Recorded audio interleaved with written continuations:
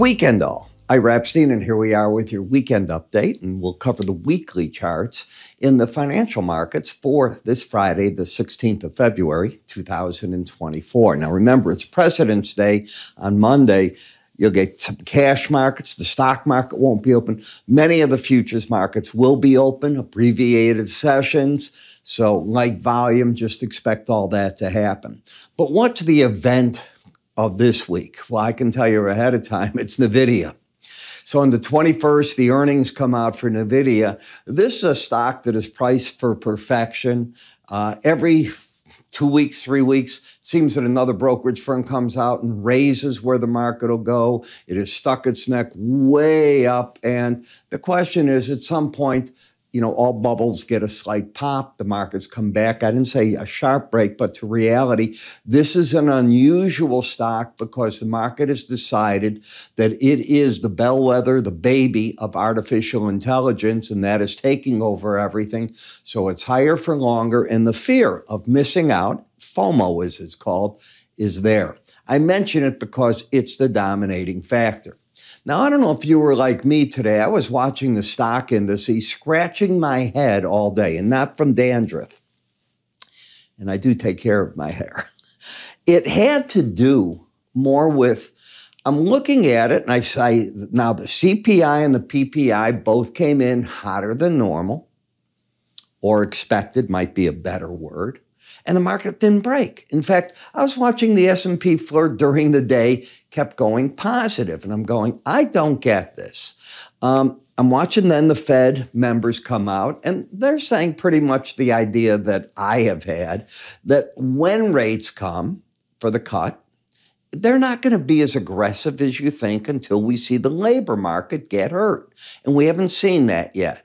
So a small blip up, be it uh, three tenths, a tenth, is that really what the issue is about? Well, the issue is about you're at sticky inflation. So the last mile, you hear that term all the time in marathon races and so on. It is the hardest mile. And that's where we're at. Some people think, well, the Fed will overdo it, therefore the labor will crash. And as the labor comes crashing in, then the Fed has to get ahead of the curve. You always hear the fact that uh, the Fed always misses it. They're always late to the party and the market's going to get hurt. How long have we heard about a recession that has not occurred? Aren't you tired of hearing that? Because that's all you keep hearing. Did we not hear it most of 2023? And here we are almost into two months, and some of the same people are saying that's going to be it. I have my doubts on that. What I think will happen is eventually the lag effect does work. High interest rates are restrictive. You will get a slowdown. A recession is a big word unless labor gets out of control. And we do keep seeing company after company that seems to be reporting earnings at the same time saying, yep, we're going to let go of X percent of our workforce and so on. So then we look at the jobless claims that we had this week.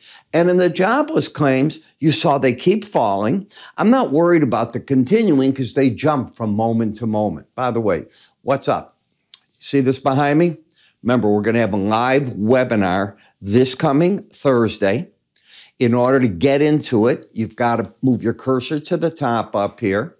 When you do that, do yourself a favor, give it a click, sign the form. You'll get your user ID or password. And if you have questions on stock indices or any of that, you can write them to me. In the live room, you can ask questions on the futures because I've got all the futures charts ready to go. If you have questions, call my staff, 866 973 2077. Okay.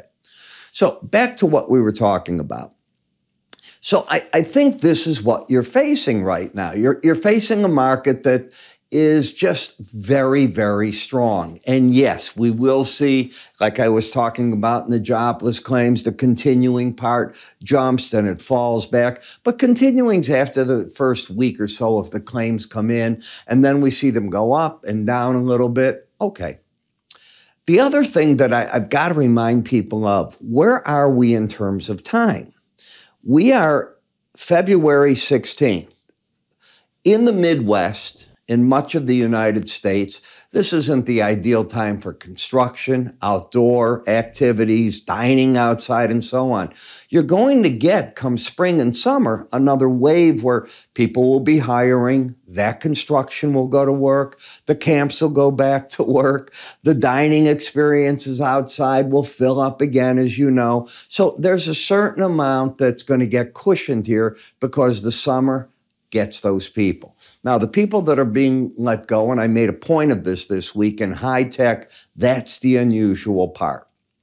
Before, no, I can't afford to lose that employee under any circumstance. Now it's okay. You're calling the ranks. Other companies will pick up these people that have died to get them and couldn't get the personnel, and now they'll get them. So I want to see more. But I have a feeling that we have two events left. The event this week, in NVIDIA, could be the surprise. You could hit your numbers and still correct. You could hit the numbers and run to the moon. I don't know, nor does anybody else because of that FOMO. What I can tell you is my experience has been that if you break, and it's somewhere along the line you will, it'll be short lived. And the reason is the people will come out and say, this is your opportunity to get into this stock again. That is how I'm viewing it, and we'll see if I'm right or wrong. Now, when we look at the S&P, again, for the month, we're halfway through. You're up 3% for the month. I mean, this is just unbelievable how the market keeps going. For the week, you lost a little bit. You lost a half a percentage point. You can see how the market is now starting to I wish I could use the word stall. I don't know that that's the right word right there. It just sort of backed off a little bit. How's that? The pattern is still one of higher lows and higher highs on a weekly chart. You're still over all the key moving averages. That part is bullish. As I said, higher lows, higher highs, and nowhere near the Bollinger Band. Nor do I think it's going to go there unless NVIDIA runs to the moon. If it does, a certain amount. Remember, then you're going to get all those AI stocks that go, we're too cheap. If that can keep going, we can join the party. So the S&P and the NASDAQ will come alive on that. If NVIDIA breaks, how much is being propped up because of the AI? And do we go whoosh for a moment, the bottom comes out of the market? That could easily happen. You have the bullish embedded reading. That part says that breaks in the market still going to get bought by the pros. But my guess is, remember, we're not open in the stock market on Monday. So come Wednesday, after we see the earnings, gives you Thursday and Friday to be really worried about the market. If you had a hard break, wherever the 18 day co- average comes in would be where I think the support would uh, uh, would come into the market.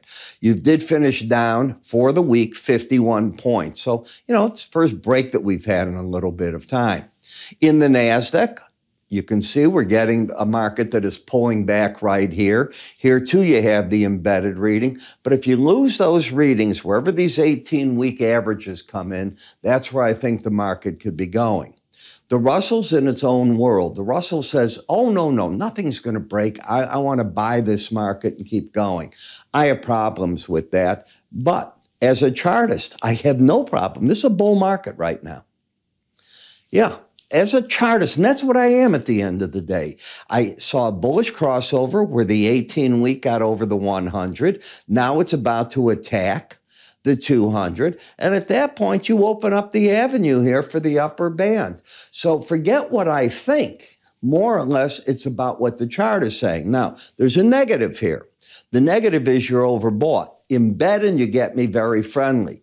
Don't, and so far, this is no more than a rally that could end up again coming back to these moving averages to prove itself. We know that there's a slew of money, I mean, a big pile that wants to pick off individual small caps. That's all you keep hearing.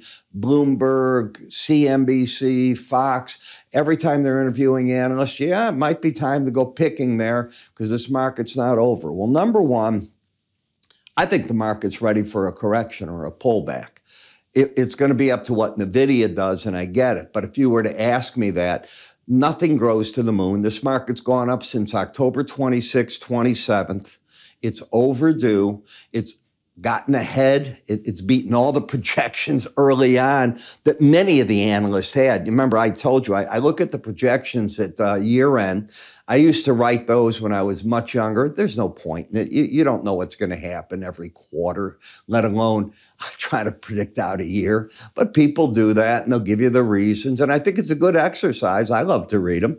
But the most I saw was in the 5,400 area. I mean, there was an outlier number I did see of 6,000 in the S&P. But, I, you know, even then, corrections are normal. So I'm just warning you, you could be there in the five year note, interest rates are going higher. Has anybody looked at mortgages today? Over 7%.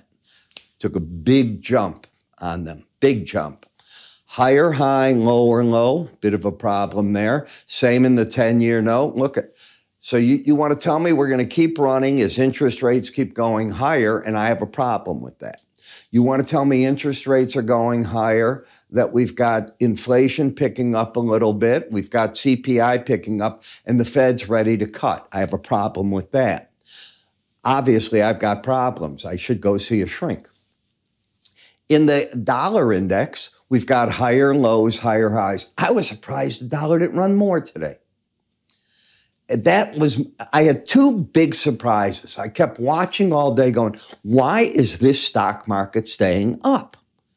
And I said, the only reason can be they're thinking Nvidia's coming out and that's going to be their savior with the earnings. That's, I swear to you, what I was thinking. Then I kept turning to the dollar. And if you looked at the daily charts, it just wasn't picking up. The weekly's still okay. What I don't want to see, there is a what I don't want. You have an outside week up. I don't want to see this lows violated. If so, this market may not be as strong as I think.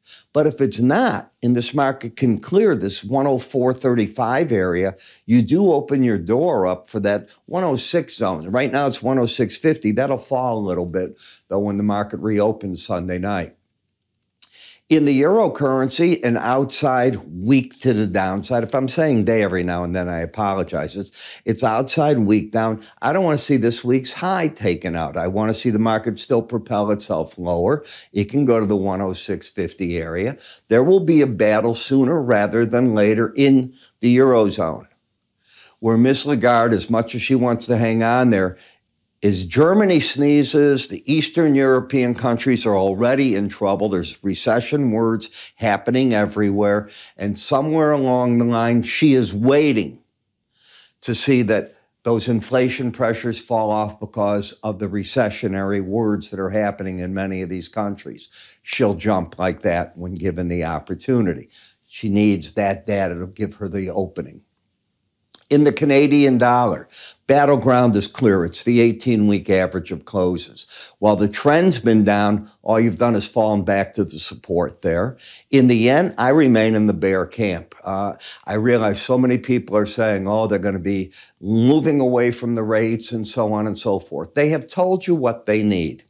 Mr. Ueda has said, I mean, he could pull a surprise, of course, but he has said he'd like to get through the labor negotiations, which happen in early March, and see that wage inflation gets locked in, embedded. What do the unions get out of this? They happen to do everything at one time there. It's the nature of how they do it. And there's more time left. This is Feb 16th. We'll see. We have heard that smaller companies have already gone with 30, 40% increases in wages to attract young people. And remember, that population has a dying off young people amount, all right? In other words, they're not replenishing the way that they used to, so they have to pay more to hire people. This is what he wants to see. The stock market there is on fire. If you watch it, you can see what the low yen has done. Their stocks are running. It's one of the best performing stock markets in the world. And therefore, yeah, there'll be a point in time where this market's no longer a short sale. I don't think we're there at this point in time. I think you're a little early. Not much, but early still. Uh, to be a buyer. I still like the short side. Bitcoin. Nah, I, I, follow what I do. I realize everybody, they're talking, we're going up here. People are talking half a million dollars. When you're over a Bollinger Band, you only stay over it 5% of the time.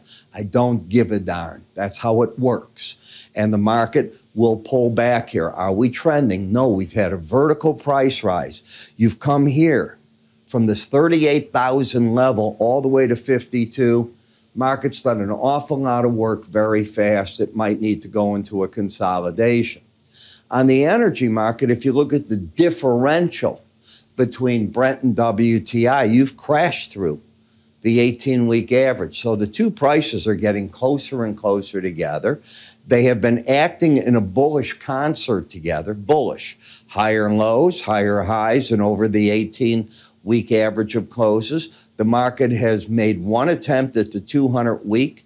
It held it. Now the question is if it can lift, then I think the next stopping spot's near the 90 level, the 89 zone.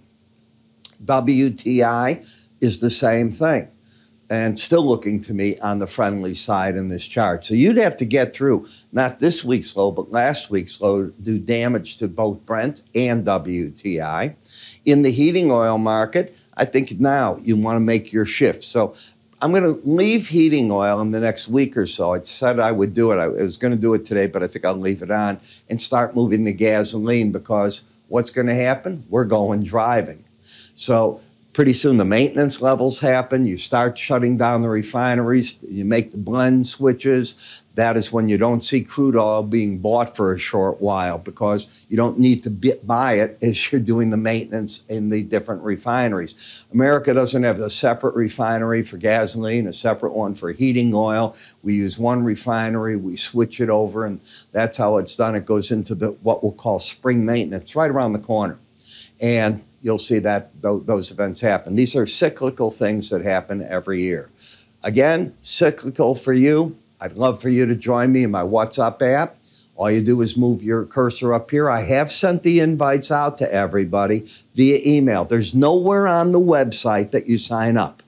You got to do it via this, or you call my staff at 866 973 2077 bring your questions. We'll open up at 12:15 p.m. Central Time. I start talking at 12:30. I am done 20 minutes later. There is no video available. If I'm going to make my time available, you change your schedule to join in. There's no charge to join in, but you got to figure your way into it.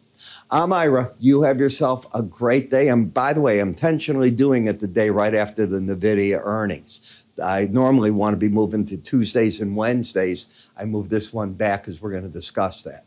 You have a great one.